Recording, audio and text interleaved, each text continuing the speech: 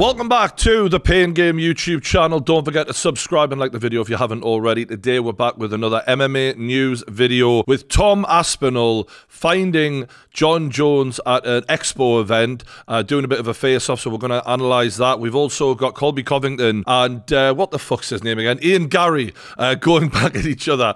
Um, they want to set up a fight clearly, and there's a lot of shit talk about Ian Garry's wife as usual. And uh, Nate Diaz has also tweeted out about Conor McGregor's contract situation and really confirmed some of our suspicions, I think. So here's big Tom Aspinall headed to the Arnold in Birmingham. It's the bodybuilding expo where he managed to find Jon Jones. I'm hearing that Jon Jones is going to be there, so me and Jon will be having words. We'll be having respectful on my part at least, but we'll see. Forward to it. So he said, I'm going to go there and I'm going to be respectful. Say no more, right? It's Tom Aspinall. He's always respectful. He is the nicest fighter I think I've ever met in my life. And ironically, probably the, the, the most destructive. Protein oh. vibes. Let's see what he's eating.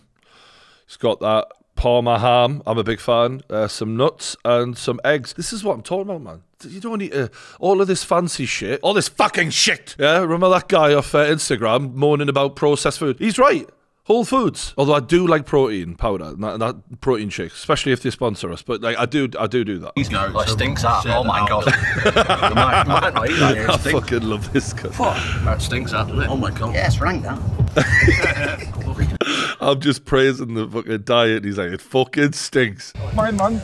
See, Too tall, too tall. The thing that hits you about Tom when you meet him, and I'm a big dude, right, is he's tall. He's not necessarily the, the biggest, thickest set guy like Francis Ngannou or someone like that, but he's very large, right? He's a big old dude. So you see him in, in coming from a mile off. And here's the thing, right? Let's not let's not kid ourselves at the Arnold and that, right? There's a lot of dudes who lift weights who they want to look like tough guys. He's the legit tough guy there. So like he is the alpha in that whole entire fucking building. You could argue only Jon Jones would have a claim to that. But yet Tom's the one who's willing to fight. So far as we know, Jon Jones hasn't really been about it. Is that Jon Jones there wearing a big fuck off chain?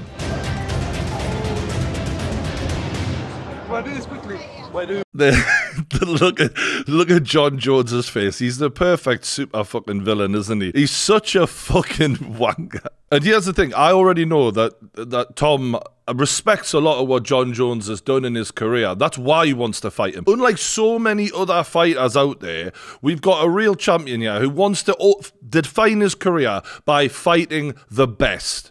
Just saying hello. Just saying hello. What's going on? There's a little shake of hands from Jon Jones. How are you? Hello, good man. How are you? Okay. Let's hear what they're saying. the look of Jon Jones. This is the thing with Tom, right? Is he's extremely friendly. So him putting his hand on you is like, all right, mate. Like he's not trying to like sun this guy, but obviously Jon having the fucking ego the size of Texas, like he does, ain't gonna like that. Uh, we'll be having less of that, mate. We're going to do this thing. I would hope so. I would love to, man. I would hope so. Respect, man. All the best. Respect. All the We'll do a quick picture. Sure. Yeah? Let's get it. A face off. No, no, Just no. a... No, no, okay. No, No, no. no problem. No problem. You see, the truth of the matter is, Tom's saying let's do a face off to help build hype for the fight, build momentum. Jon doesn't want to build momentum. Do you know why? Because Jon Jones has no fucking intention of stepping foot in the cage with that young lion, that actual heavyweight. Tom Aspinall couldn't cut down to light heavyweight unless he chopped a fucking leg off. Jon wants to have these easier heavyweight fights that he's been having, do two, and then get the fuck on the road. He doesn't have any intention of fighting Tom, in my opinion, at all. But credit to Tom for trying to seize the moment and try and make it happen. And you know the thing with Tom? He's such a respectful dude.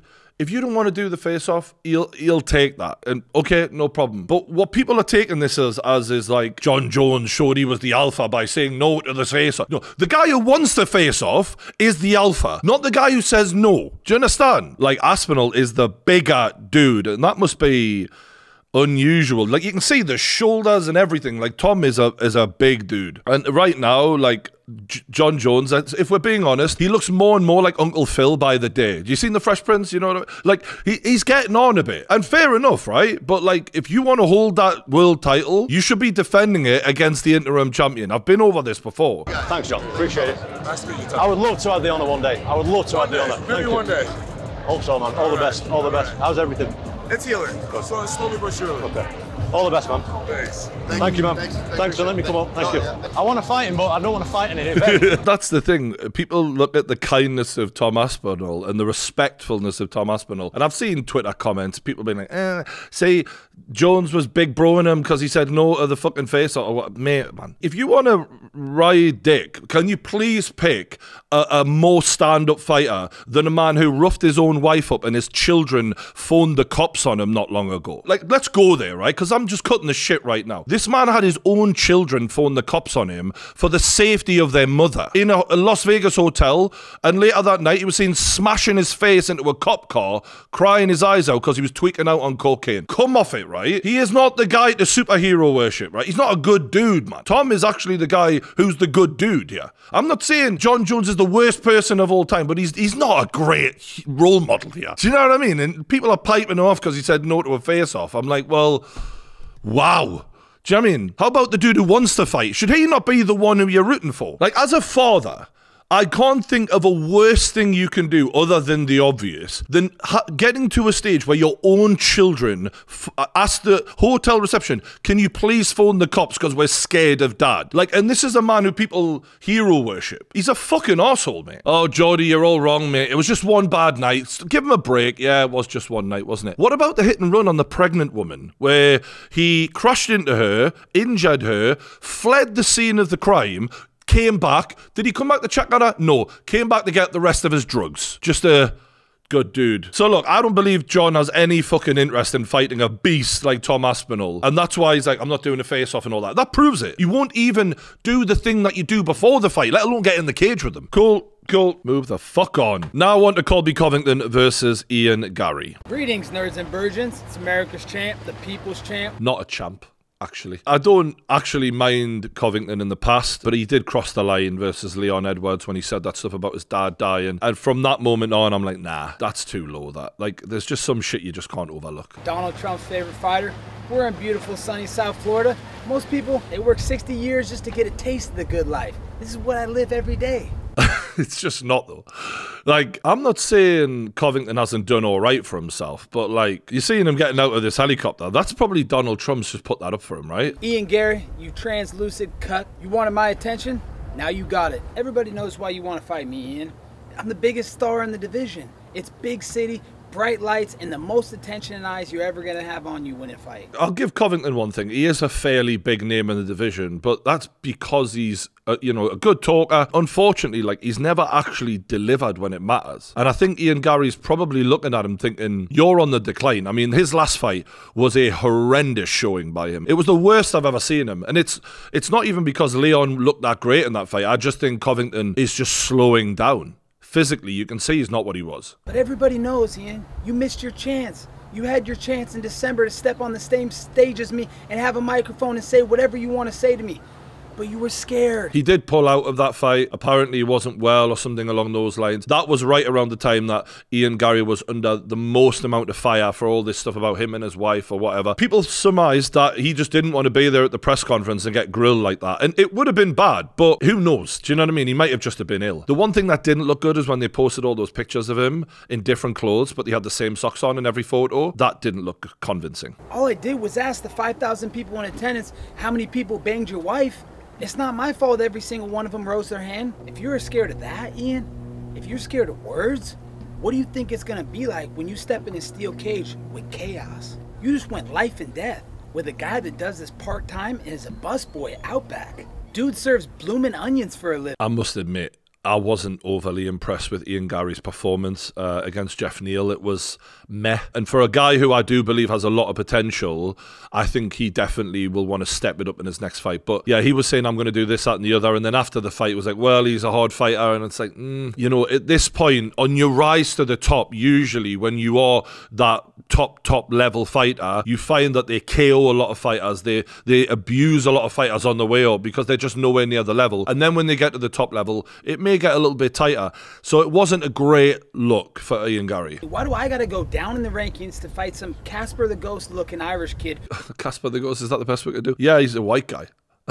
if you can meet these three stipulations, we gotta fight. Stipulation number one you and that gold digging whore. You can't call her that. No, no. Look, I understand. Like we're, we're in the fight game here, right? But like you, he's calling out people's dead fathers, their wives. Like this man is is asking for trouble. Like it's no wonder Masvidal jumped him. And I don't even like Masvidal at the moment. The way he's talking about Uncle Chael, can't be having it. But he brings this shit on, doesn't he? As you all might have noticed, something's been missing from my MyBookie promos lately. That's because I've been saving that spot for a special someone. Layla, you want to be a star? You want the spotlight? I got it for you. Okay, we got it. He wants Layla to be his like girl in the video that where he promotes his betting brand or whatever. Like some of this is kind of funny, but some of it is it, you just. Here's the thing: it's making me want to watch the fight more. I can't even lie, right? But I personally don't agree with it going that far. Let's see what Ian Garry said. Listen here, Colby Chaos Covington. You are in no position to tell me what I should be doing in life. You'll do as you're told. And down! And down! I mean, he's poking fun at the fact that he's lost three title fights, and uh, that's legit. And as much as Covington's talking about Ian Garry's wife, this will probably piss Covington off more because it's the truth. Three stipulations, all of which had nothing to do about fighting, but we're all talking about my wife. Layla, Layla, Layla, Layla, get on your hands and knees and beg. I don't know how you were raised, but women aren't property, and my wife definitely ain't no trophy. You should be focusing on me. I'm the one who's in that octagon with you. I'm the one who's going to punch a hole in your head. So stop swerving me and keep Layla's name out your mouth. Fair.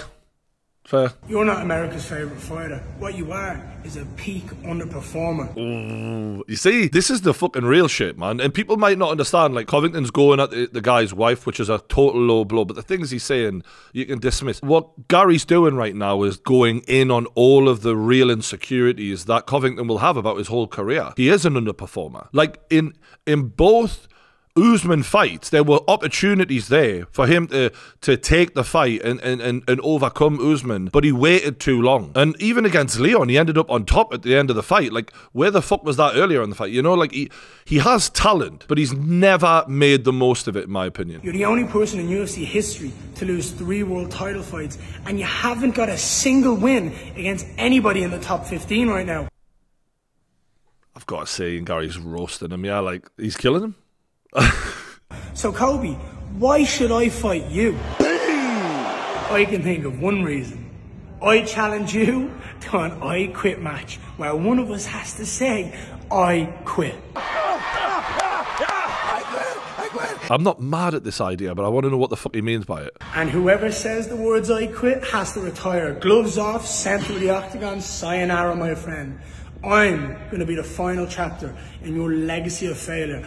I am going to rid the UFC of Colby Covington for good, and I'm going to make MMA great again. The make MMA great again bit uh, is quite ironic because obviously he's kind of a Trump guy. I think the idea that loser leaves town is actually a fun idea. I do like that idea. Chael Sonnen, ironically, is like the mentor of Colby Covington, and he was the originator of that when he said Anderson Silva, loser leaves town. Basically, whoever loses, you got to leave the UFC forever. Even if it's bullshit, just throw it out there. It's it adds something. It makes us give a shit, which 99.9% of UFC fighters right now are terrible at. There's never been less stars in the history of MMA. If you're a UFC fighter and you want a star right now, you're fucking useless because there's no one talking in the room. It's nothing but silence and oxygen. Like even now, Topuria, who won the featherweight belt, he's calling out Conor McGregor. Like, what are you doing, bro? Make us care about an actual fight that's actually gonna happen, you morons. Do you know what I mean? No, no disrespect, because I, I rate the guy as a fighter, but no one's thinking anymore outside of the cage. No one has a clue about marketing. As much as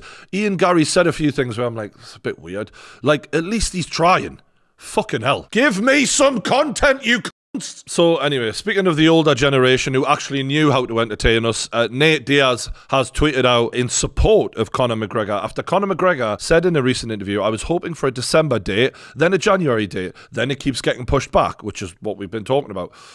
Then I lose interest and stop training for a while. That is massive, by the way. Never in the history of Conor McGregor's career has he ever admitted I lose interest and stop training. He's always acting like I'm a beast, I'm a machine, I'm always. Look, we can tell by your performances that there's inconsistencies. If anything, McGregor is like the Tyson Fury of MMA in that he's one of the most inconsistent performers. You can see the drive goes and comes, right? And some, it's been going a lot for a long time. But I did speculate in my last video is that because of the UFC fucking him around? And clearly that's a factor. He says, but I'm always training, but stop full training and start drinking. Mate, he's actually saying the truth. It's the closest thing we've heard to him admitting this is part of my problem here, and that the UFC are clearly impacting his mental health through whatever is going on in the background, which is negotiations, clearly. We've been talking about this on the channel. So I'm going to go back, regroup, get my fight date, and then I'm ready to rock. Nate Diaz comments on it. This was me for years before Conor even got here. They want you to die before they let you out of these contracts. This is what I've been saying. And by die, what he means is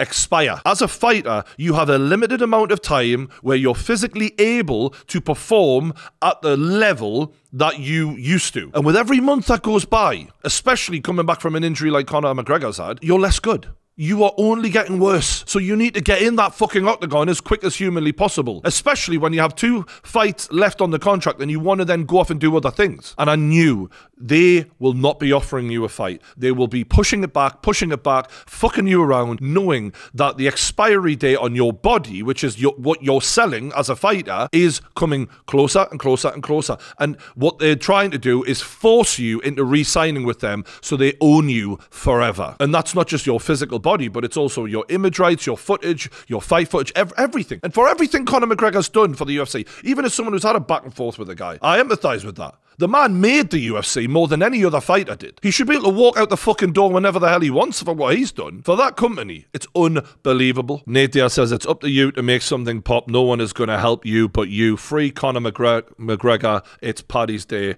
in this bitch. Now, McGregor, he's got to get the hell out of this company. He's, he's got to. If he, if he wants to have these mega money fights, which he's entitled to, in my opinion, against the Manny Pacquiao, do I want to see it? Do I fuck? But he should have the fucking right After everything he did for that company, it's one thing if he was two, three fights into his fucking UFC deal. This man built the UFC.